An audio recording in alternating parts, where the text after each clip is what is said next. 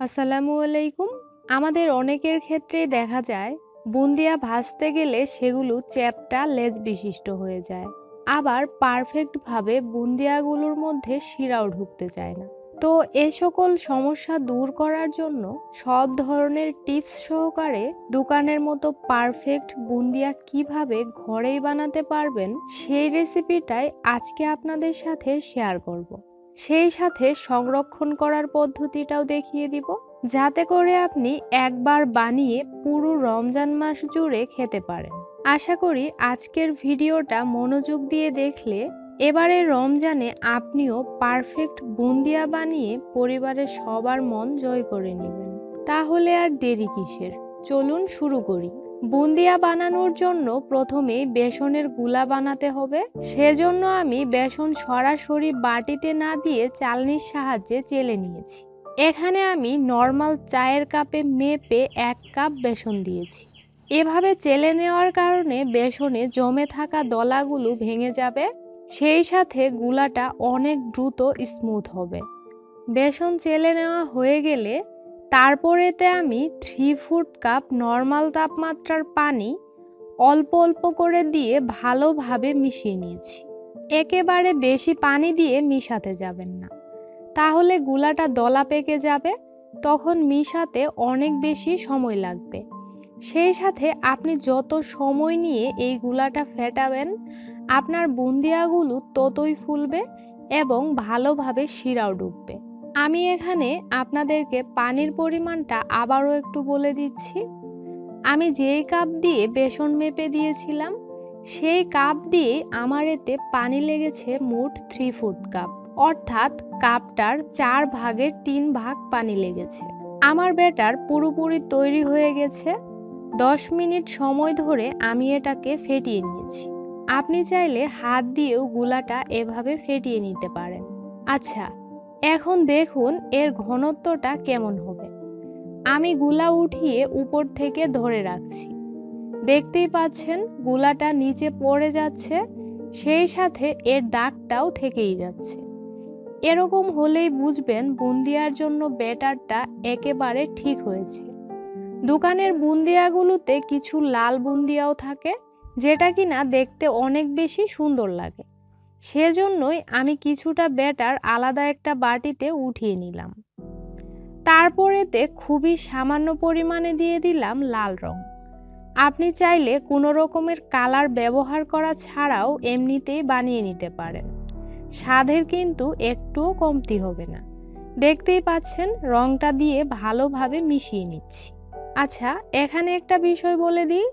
আপনি লাল, সবুজ যে রঙের বুন্দিয়ায় বানান না কেন সব বুন্দিয়ার ক্ষেত্রেই কিন্তু ব্যাটারের ঘনত্বটা সেই একই থাকবে।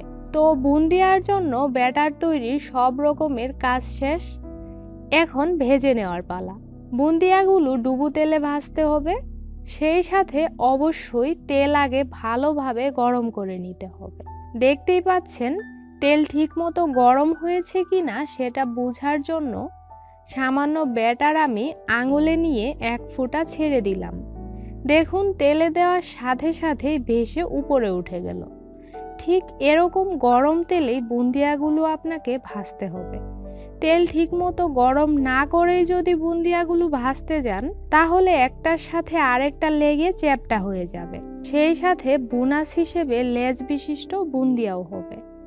আজকের বুন্দিয়াগুলো ভাজার জন্য আমি এরকম গুল ছিদ্রযুক্ত তেলের চামচ ব্যবহার করব। আপনি চাইলে বুন্দিয়া মেকারেও ভাজতে পারেন, আবার চাইলে এরকম ছিদ্রযুক্ত যে কোনো কিছুতেই বানাতে পারেন। দেখতেই পাচ্ছেন, ব্যাটারটা একেবারে দিচ্ছি না, অল্প অল্প করে চামচে যতটুকু ধরে সেভাবেই ছড়িয়ে দিচ্ছি। ব্যাটার দেওয়ার পর চামচটা কোনো অবস্থাতেই ঝাঁকাঝাঁকি করবেন না, তাহলে কিন্তু বুন্দিয়াগুলোর লেজ বের হবে। আর তেল থেকে চামচের দূরত্বটাও অবশ্যই একটু খেয়াল রাখবেন। তেলের একদম কাছে চামচটা ধরা যাবে না, আবার খুব উপরেও না। চার থেকে পাঁচ ইঞ্চি দূরত্ব থাকতে হবে তেল এবং চামচের মাঝখানে। আচ্ছা যদি দেখেন বুন্দিয়াগুলো একদিকে বেশি পড়ে গেছে, তখন চামচটা আলতোভাবে সরিয়ে ফাঁকা জায়গাটাতে ধরতে পারেন। তাহলে একটা বুন্দিয়ার সাথে আরেকটা বুন্দিয়া লেগে যাবে না। চামচ দিয়ে বুন্দিয়ার গোলাটা যতক্ষণ আপনা আপনি পড়তে থাকবে, ততক্ষণ এভাবেই ধরে রাখবেন।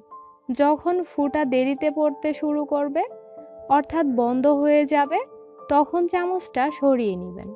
সেই সাথে এগুলো বেশি সময় ধরেও কিন্তু ভাজা যাবে না।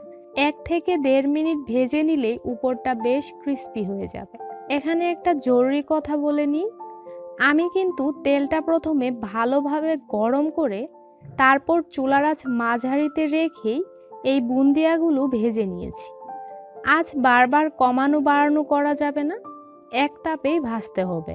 আমি পুরো সময়টাতে চুলারাজ মাঝারিতে রেখেই এগুলো ভেজে নিয়েছি।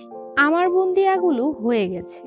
দেখতেই পাচ্ছেন বুন্দিয়াগুলো একেবারে গুলগুল হয়েছে, একটুও কিন্তু লেজ বের হয়নি। এবারে বুন্দিয়াগুলো তেল থেকে তুলে সরাসরি কিচেন টিস্যুর উপর উঠিয়ে রাখছি।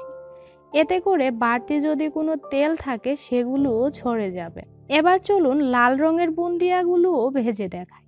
নিয়ম কিন্তু সেই একই থাকবে। চার থেকে পাঁচ ইঞ্চি দূরত্ব থাকতে হবে তেল এবং চামচের মাঝখানে।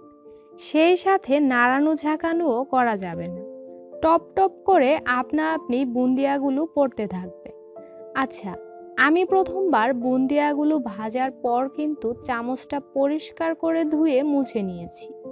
প্রত্যেকবার বুন্দিয়া ভাজার আগে অবশ্যই চামচটা পরিষ্কার করে নেবেন। তাহলে ছিদ্রগুলো খুব ভালোভাবে পরিষ্কার হয়ে যাবে। তখন পরের বেচের বুন্দিয়াগুলোও সুন্দর হবে। পরিষ্কার না করলে কিন্তু বুন্দিয়াগুলোর লেজ বের হবে। তো একইভাবে লাল বুন্দিয়াগুলোও চুলার আঁচ মাঝারিতে রেখেই এক থেকে দেড় মিনিট ভেজে উঠিয়ে নিয়েছি। আমি বাকি ব্যাটারটুকুও দিয়ে এখানে সবগুলো বুন্দিয়া সেই একই পদ্ধতিতেই ভেজে নিলাম। এই অবস্থায় বুন্দিয়াগুলো হালকা মুচমুচে হবে। তবে খুব বেশি মুচমুচে হবে না। সেই সাথে হয়তো কয়েকটি বুন্দিয়ার মধ্যে একটু লেস থাকতেই পারে। সেটা খুবই স্বাভাবিক। কিন্তু যদি দেখেন সবগুলো বুন্দিয়ার মধ্যেই লেজ বের হয়েছে, তাহলে কিন্তু আবার সেটা অস্বাভাবিক। আশা করি সবগুলো টিপস ফলো করলে আপনাদের বুন্দিয়াগুলোও এরকম মুক্তার মতোই গুলগুল হবে। আমার বুন্দিয়াগুলো নর্মাল তাপমাত্রায় চলে এসেছে।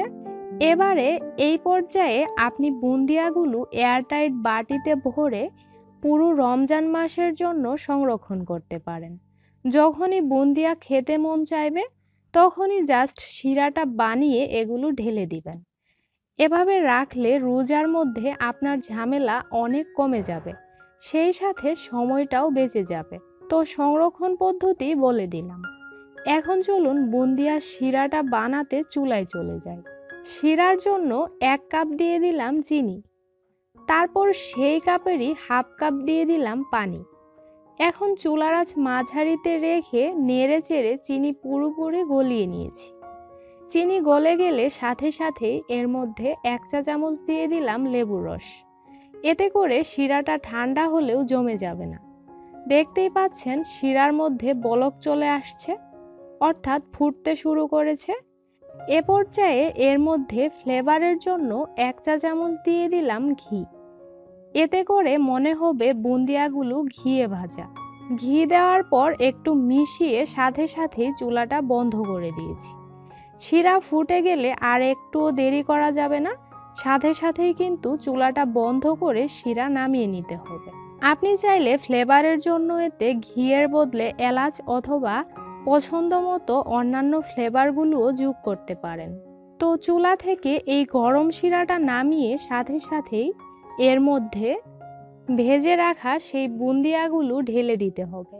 শিরা ঠান্ডা করে দিলে কিন্তু বুন্দিয়াগুলোর মধ্যে শিরাটা ঠিকমতো ঢুকতে পারবে না। সেই সাথে শিরাটা বেশি ঘনও করা যাবে না। বুন্দিয়াগুলো এই গরম শিরার মধ্যে দিয়ে ভালোভাবে নেড়ে একটু মিশিয়ে নিলাম।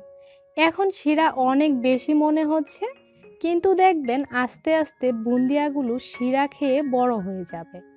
এখন আমি ঢাকনাটা দিয়ে ঢেকে অপেক্ষা করব শিরা পুরোপুরি টেনে যাওয়া পর্যন্ত। এক থেকে দুই ঘণ্টার বেশি সময় লাগবে না। আমি দুই ঘণ্টা পর ঢাকনা খুলে নিলাম। তবে এই সময়ের মধ্যেই কিন্তু আমি বেশ কয়েকবার বুন্দিয়াগুলো নেড়ে মিশিয়ে দিয়েছি। এতে করে সবগুলো বুন্দিয়ার মধ্যে সমানভাবে শিরা ঢুকতে পারবে। আপনার হাতে সময় কম থাকলে চুলার আঁচ একদম লো হিটে রেখেও পাঁচ থেকে দশ মিনিট বুন্দিয়াগুলোর শিরা টানিয়ে নিতে পারেন। দেখতেই পাচ্ছেন, বুন্দিয়াগুলো শিরা খেয়ে বেশ স্বাস্থ্যবান হয়ে গেছে। ভাজার সময়ের সেই ক্রিস্পি বুন্দিয়াগুলো কিন্তু শিরা খেয়ে একদম সফট হয়ে গেছে। এবারে চলুন বুন্দিয়াগুলোর ভিতরটা একটু দেখা যাক, শিরা খেয়েছে কিনা। দেখুন, চাপ দেওয়ার সাথে সাথে টুপটুপ করে রস বের হয়ে আসছে। রসালো ঝরঝরে এই বুন্দিয়াগুলো খেতে অনেক বেশি মজার হয়েছিল। পারফেক্ট বুন্দিয়া বানানোর জন্য ভিডিওতে বলা সবগুলো টিপস মনোযোগ দিয়ে ফলো করে বাসায় একবার হলেও ট্রাই করে দেখবেন। আশা করি খুব ভালো রেজাল্ট পাবেন। তো আজকের ভিডিওটি নিশ্চয়ই আপনাদের অনেক বেশি উপকারে আসবে। আচ্ছা তাহলে আজকে এখানেই বিদায় নিচ্ছি। আল্লাহ হাফিজ।